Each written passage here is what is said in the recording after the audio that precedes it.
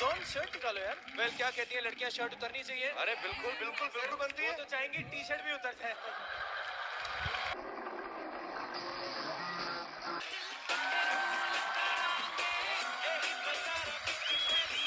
आइए चलिए John flex